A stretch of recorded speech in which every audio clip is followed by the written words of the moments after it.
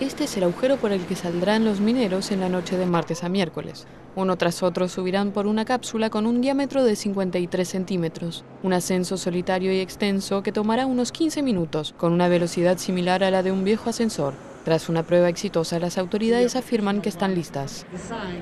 La cápsula se comporta muy bien dentro del ducto, se adapta al desplazamiento con encabezado, sin encabezado, no existe movimiento ni bamboleo dentro de la cápsula, no existe ni la caída siquiera de polvo dentro de este ducto. Los hombres más hábiles subirán primero, tendrán que improvisar si se bloquea la cápsula, luego vendrán los más débiles y finalmente los más fuertes. Los socorristas que bajarán al fondo de la mina serán quienes tomen la decisión. El operativo podrá llevar unas 48 horas.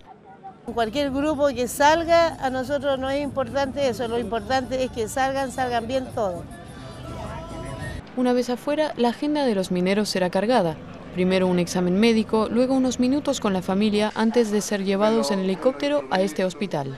Los vidrios están eh, oscurecidos, como señalábamos, para permitir una acomodación progresiva a la luz, que es uno de los grandes problemas que van a enfrentar ellos para no sufrir daños en, su retina. Allí serán sometidos a 48 horas de exámenes psicológicos, dentales y dermatológicos, y los 1.700 periodistas que acampan alrededor de la mina deberán esperar. Los mineros pidieron unos días de tranquilidad.